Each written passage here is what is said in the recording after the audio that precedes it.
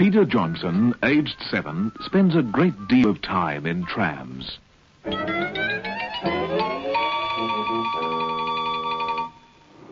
Unlike his father, who prefers to drive.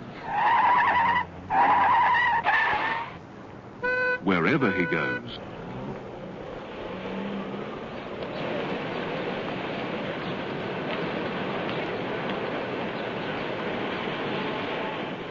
Just look at that, will you? All they do is cause congestion and block up the road.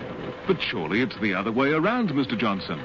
It's you who's blocking the tram. Well, that's not the point, old man. The roads belong to cars. If I had my way, I'd get rid of trams altogether. All right, we'll give your recommendation a try. Let's see. Yes, this should do. There, that's fine.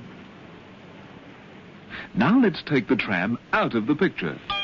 It certainly leaves a nice wide space. Ah, but we forgot. That tram was carrying 90 passengers, Mr. Johnson. How do we get those 90 passengers to work, now that their tram is gone? Simple, old man. Let them drive cars. Hmm, uh, thank you.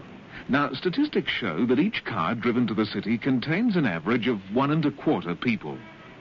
Now, one and a quarter into 90, yes, that's about 70 cars. Good heavens. As you can see, these cars, even when they're jammed head to tail, take up 20 times more road space than the tram did. Multiply them by several thousand peak period tram trips a day, and you'd have one third of a million additional cars on the road. There'd be such traffic chaos that none of us would ever get to work. Oh, no, Mr. Johnson. Trams don't cause traffic congestion. They help to minimize it.